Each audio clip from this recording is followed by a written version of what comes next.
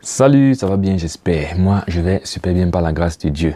Alors, dans cette vidéo, je continue avec ma méditation dans l'évangile selon Matthieu. Et aujourd'hui, mon intérêt se pose la question de réincarnation. Euh, Est-ce que la réincarnation est biblique ou pas? Et parfois, ces questions que je pose comme ça peuvent sembler inutiles. Déjà, personne ne se demande et ça, c'est clair que ce n'est pas biblique. Mais ce sont des questions qui viennent de mes expériences en réalité. Des gens pensent des choses comme ça. Et donc, je prêchais l'évangile à quelqu'un un jour qui euh, m'a donc dit il pense que la Bible enseigne la réincarnation. Pourquoi? Parce qu'il y a le prophète Élie qui s'est réincarné en Jésus. Et dans mes temps récemment, je retombe dessus et je me dis donc, ok, je vais partager euh, ma réflexion derrière cette question et, partager la conclusion à laquelle je suis arrivé. Donc dans Matthieu 11, à partir du verset 13, Jésus dit, quand tous les prophètes et la loi ont prophétisé jusqu'à Jean, et si vous voulez le comprendre, c'est lui qui est Élie qui devait venir. Donc le gars m'avait dit, tu vois, Élie en fait s'est réincarné en Jean-Baptiste. conclusion, la réincarnation est biblique. Et donc voici les différents éléments qu'il faut considérer pour comprendre que ce n'est pas le cas. Première chose, c'est que on n'interprète pas la Bible. Donc je veux qu'on retienne deux choses de cette, de, cette petite vidéo. C'est la première chose, c'est un principe d'interprétation de la Bible.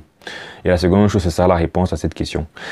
Alors le principe, c'est qu'on n'interprète jamais la parole de Dieu à partir. On n'établit pas des dogmes et des doctrines de manière absolue à partir des textes qui sont flous, c'est-à-dire à partir des paraboles, à partir des prophéties imagées et symboliques, ou alors à partir de tout texte qui n'est pas écrit pour enseigner spécifiquement sur la doctrine en question.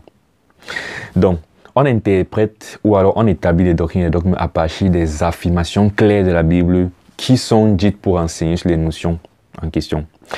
Ça veut dire la question c'est est-ce que le but de Jésus en disant ça est d'enseigner ce qui se passe après la mort? Non, pas du tout. Et donc, c'est la première, la première chose déjà avec ce test ici. Mais déjà, une pléthore de textes nous dit ce qui se passe après la mort. Mais je vais prendre un seul texte rapidement, celui de Hébreu 9, verset 27, qui dit et comme il est réservé aux hommes de mourir une seule fois, après quoi vient le jugement Il est réservé aux hommes de mourir une seule fois, après quoi vient le jugement Et là, nous sommes dans un contexte où on parle de quoi? Du salut en réalité. Donc, de ce qui se passe après la mort. Puisque c'est ça le salut. C'est le sort de, de, l'âme après sa mort. Ça va se passer comment? Et donc, ça, c'est un texte qui est fait pour enseigner dessus. C'est une affirmation qui est claire. Après, l'homme une seule fois, après quand vient le jugement. Donc, voilà en fait ce qui se passe après la mort. Il a pas Et ça exclut donc toute possibilité de réincarnation. Parce que la réincarnation admet que tu es mort plusieurs fois. Tu es mort, tu es revenu, tu es encore mort, tu vas revenir, tu es encore mort, tu vas revenir, tu vas encore mourir. Donc, c'est ici est la réincarnation? Euh, c'est donc ça, et la première chose qu'il faut comprendre, c'est qu'on interprète la Bible à partir des, des affirmations et non des, interprétations des interprétations. Maintenant, la seconde chose, c'est se dire, est-ce que ce que Jésus est en train de dire, il délit, il faut interpréter ça littéralement. Et la réponse, c'est non. Et comment est-ce que c'est non? Ou bien là, en fait, je pense que c'est sujet à interprétation. Moi, je pense que c'est non, mais je pense que quelqu'un peut dire oui et on peut débattre dessus. Et c'est donc pour ça, justement, que ce n'est pas un bon test qu'il faut prendre, en fait, pour établir un dogme et dire ce qui se passe après la mort quand il y a des tests clairs qui nous enseignent ce qui se passe après la mort. Mais voici pourquoi je pense qu'on ne va pas prendre forcément ça littéralement, les éléments en question. Jésus est en train de citer en fait une prophétie, ou bien Jésus fait référence à une prophétie quand il dit Élie, c'est Jean, c'est Élie qui devait venir. Il s'agit de Malachie 4, verset 5. 4 à 5, on dit Dieu parle, il dit Souvenez-vous de la loi de Moïse, mon serviteur, auquel j'ai prescrit en Horeb pour tout Israël des préceptes et des ordonnances. Voici, je vous enverrai Élie, le prophète, euh, avant que le jour de l'Éternel arrive, ce jour grand et redoutable. Donc ici, Élie doit venir avant le jour de l'Éternel. Le jour de l'Éternel, c'est une notion qu'il faut comprendre, qu'il faut connaître. Elle est répartie un peu partout dans euh, les textes de l'Ancien Testament ça renvoie en fait au jugement, le jour de l'éternel. Mais ça renvoie au jugement de quelle façon? De deux façons. C'est que Dieu va venir en fait et les gens vont rendre compte à Dieu. Mais cette venue de Dieu en elle-même encore peut encore être divisée en deux, deux, deux venues, deux compréhensions. La première, c'est la première venue de Jésus au monde. Qui est un prémisse de sa seconde venue qui euh, marquera dans la fin du monde et le jugement, dans le jour littéral du monde. La première venue, pourquoi? Par exemple, le prophète Joël a prophétisé sur le jour de l'éternel. Il dit le jour de l'éternel arrive et avant ce jour, vos filles et vos fils prophétiseront, il y aura des signes dans le ciel et tout ça, n'est-ce pas? Mais on voit l'apôtre Pierre citer que cette prophétie s'est annoncée à la Pentecôte. Pourquoi? Parce que l'Esprit est descendu, il a été, il a été euh, répandu et ils ont prophétisé, ils ont parlé la langue et tout ça.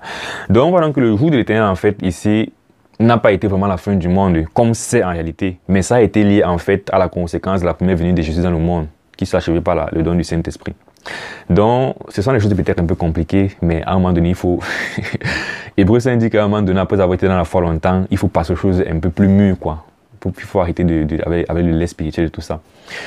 Mais donc voilà, il faudra aller lire ces tests. Euh, mais en gros, c'est quoi? Le jour de l'éternel renvoie en fait au fait que la fin arrive.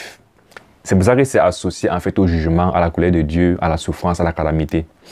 Et l'idée de se dire que quoi? Avant que ce jour de jugement n'arrive, Dieu envoie ses prophètes en fait pour avertir au peuple que quoi? Répentez-vous, réconciliez-vous pour ne pas mourir. Et donc ce que Élie a fait à son époque. Élie vit à une époque où le peuple est égaré de l'éternel, à l'époque du roi Akab. Et Élie vient, il dit quoi? D'abord, répentez-vous, choisissez que vous allez servir entre Baal et l'éternel. Et l'une des grandes choses pour lesquelles Élie est connu, c'est pour avoir arrêté la pluie pendant trois ans et demi, qui est encore un, symbole de ce qui se passe à la fin des temps, parce à la fin du monde. On voit, on voit également qu'il y a trois ans et demi de, tribulation et, après, les trois et demi, le Seigneur revient à lever l'église, n'est-ce pas? Et pendant ces trois et demi, c'est la même chose. C'est genre souffrance, souffrance, il faut vous repentir. Donc c'est un peu ça que Élie représente dans l'Ancien Testament. C'est ce grand prophète qui vient dans un contexte d'égarement appeler le peuple à la repentance et qui est puissant, n'est-ce pas? Du coup, quand on dit Élie reviendra, Jean-Baptiste, ce n'est que cette figure. Ce n'est que l'équivalent de cette figure en, réalité, de quelqu'un, d'un prophète qui se lève et qui dit le Seigneur arrive, répentez-vous avant qu'il ne vienne. C'est pour ça qu'on dit Jean-Baptiste, en fait, c'est, c'est celui que Dieu envoie en fait pour aplanir les sentiers, pour préparer la voie, l'arrivée du Seigneur. Et voilà dans, dans quel sens Jean-Baptiste est Élie qui devait venir. Euh, l'autre chose, c'est que euh, la loi et les prophètes, en fait, n'est-ce pas, ça se résume à Moïse et à Élie. C'est pour ça que même dans le passage, en fait, on parle d'Élie, de Moïse qui a donné la loi et d'Élie qui est le grand prophète, n'est-ce pas? Dans l'Ancien Testament, tu as cette notion de la loi et les prophètes qui est représentée par Moïse pour la loi, le ministre de la loi, et Élie qui est le grand prophète. Dans le Nouveau Testament, ce couple, en fait, se résume à quoi? Jean-Baptiste qui est le prophète, l'image d'Élie, et Jésus qui est le ministre de la Nouvelle Alliance, qu'on fait 2 Corinthiens 3 et 4, où on compare Moïse comme étant le ministre de l'Ancienne Alliance et Jésus le ministre de la Nouvelle Alliance. Donc tu as le couple prophète, ministre de l'Alliance dans l'Ancien Testament. C'est Élie et c'est Moïse. Dans le Nouveau Testament, tu as le couple prophète et ministre de l'Alliance, c'est Jean-Baptiste et Jésus. Et c'est comme ça qu'à la fin des temps, tu auras maintenant l'Apocalypse qui va vouloir faire la même chose, qui va vouloir gâter maintenant ce que euh, Dieu a fait, qui va vouloir imiter ce que Dieu fait. Tu auras donc le faux prophète, n'est-ce pas, qui va inciter les gens à louer la bête. Et tu auras l'antéchrist. Donc tu auras une sorte d'imitation de ça à la fin des temps. Mais ça, ça viendra du diable. Mais pour dire que c'est un, c'est un truc qui revient, ministre de l'Alliance et prophète. Et c'est pour ça que dans la transfiguration, lorsque euh, Jésus en fait veut confirmer qu'il est la continuité de la loi, ou bien quand Dieu veut le confirmer à ses disciples, qu'est-ce que Dieu fait? Dieu fait en, sorte que les représentants de l'ancienne alliance en fait apparaissent et valident Jésus. Donc quand Moïse et Élie apparaissent à Jésus-Christ dans la nuit et ils, parlent ensemble, les disciples voient vraiment que Jésus n'est pas venu en fait amener une nouvelle loi, mais il est la continuité de la loi. Parce que nous on sait que la loi c'est la loi et les prophètes. Moïse et Élie. Maintenant, Dieu dit, celui c'est mon fils, euh, écoutez, c'est un truc comme ça là. Par là, Jésus est confirmé, n'est-ce pas? C'est pour dire que vraiment, on représente l'ancienne alliance par la loi et les prophètes. Et c'est dans ce sens-là que Jean devient non le prophète dans la nouvelle alliance. Et c'est pour ça que Jean et Élie qui devaient venir. Donc, euh, c'est au vu de tout ça en fait que je suis en train de dire, dans tous les cas même, on ne devrait pas forcément prendre ce que euh, Jésus dit littéralement du genre, Jean est Élie qui devait venir.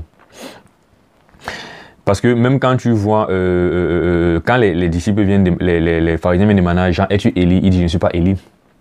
Donc il n'est pas littéralement, c'est le Élie qui a vécu à l'époque d'Akab, qui vient vivre en Jean, mais il laisse une figure qui représente encore Élie, qui représente le rôle d'Élie finalement. Donc, pour résumer, la réincarnation n'est pas biblique. Pourquoi? Un, le test pris pour soutenir ça n'est pas un test clair. Et les tests qui enseignent clairement sur ce qui se passe après la mort sont contre la réincarnation.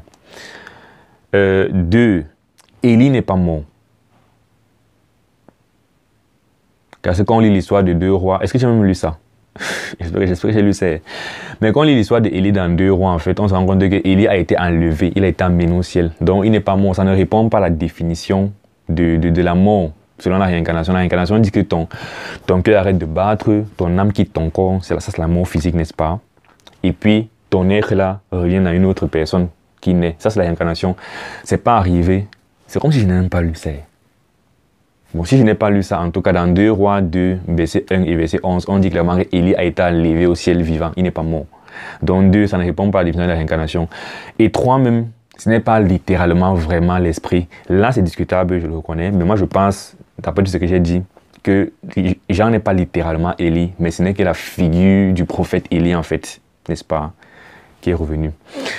Donc, en conclusion, donc, deux choses que tu reçoives de cette vidéo. Un, on n'interprète pas les dogmes et les doctrines absolues à partir des paraboles, à partir des, prophètes, des prophéties floues et à partir des textes qui ne sont pas faits pour enseigner sur ces doctrines. Et deux, la réincarnation n'est pas biblique.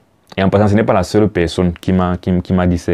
J'ai même vu des personnes, bon, j'avais vu deux catholiques, peut-être un jour je ferai une vidéo dessus, qui me disaient la même chose, croire que la réincarnation est, est conforme avec la parole de Dieu, ce n'est pas biblique.